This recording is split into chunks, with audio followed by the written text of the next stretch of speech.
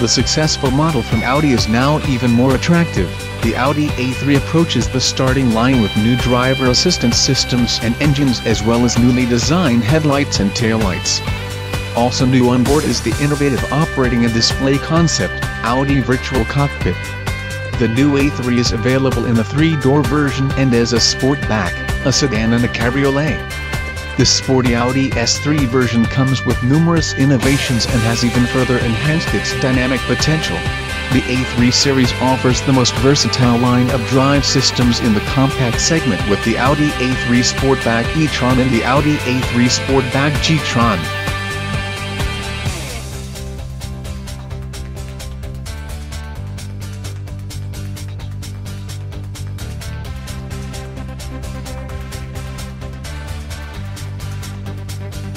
With numerous driver assistance systems, the new Audi A3 raises the bar in the premium compact segment yet again. The further developed Audi Active Lane Assist and Audi Pre Sense Front, including predictive pedestrian protection, make town and country driving even safer.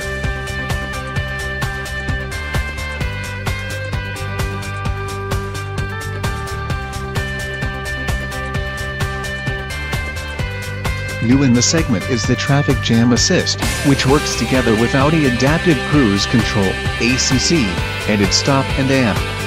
Go feature. The optional system keeps the car at a safe distance from the vehicle in front, and in combination with the S-Tronic, automatically sets the vehicle in motion again after a short stop.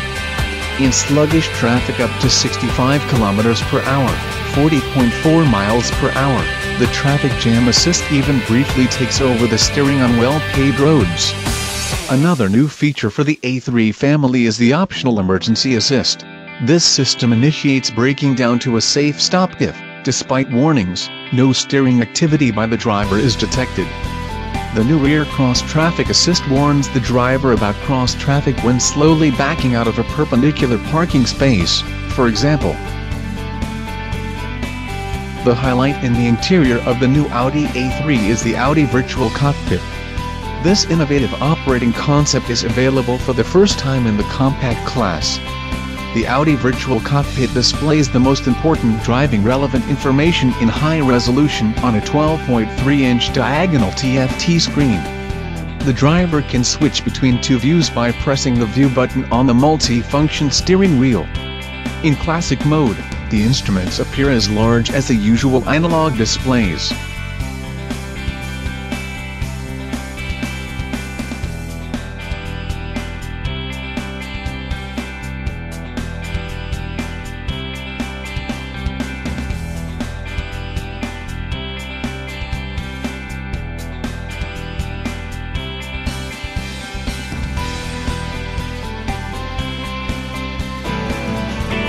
Thanks for watching my videos.